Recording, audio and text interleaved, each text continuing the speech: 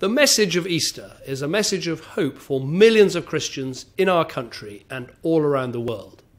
We see that hope every day in the many faith inspired projects that help the homeless, that get people into work, that help keep families together, and offer loving homes to children who need them.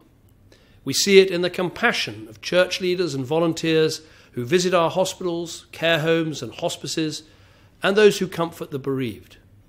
And we see that hope in the aid workers and volunteers who so often risk their own lives to save the lives of others in war torn regions across the world. And at the heart of all these acts of kindness and courage is a set of values and beliefs that have helped to make our country what it is today.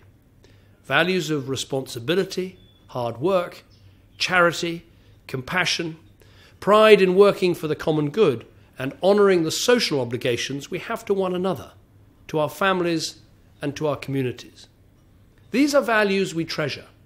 They are Christian values, and they should give us the confidence to say, yes, we are a Christian country and we're proud of it.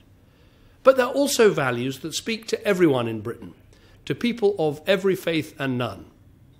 And we must all stand together and defend them.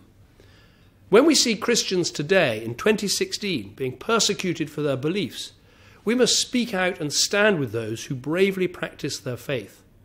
And when terrorists try to destroy our way of life, as they have tried to do again so despicably in Brussels this week, we must stand together and show that we will never be cowed by terror. We must defeat the pernicious ideology that is the root cause of this terrorism by standing up proudly for our values and our way of life.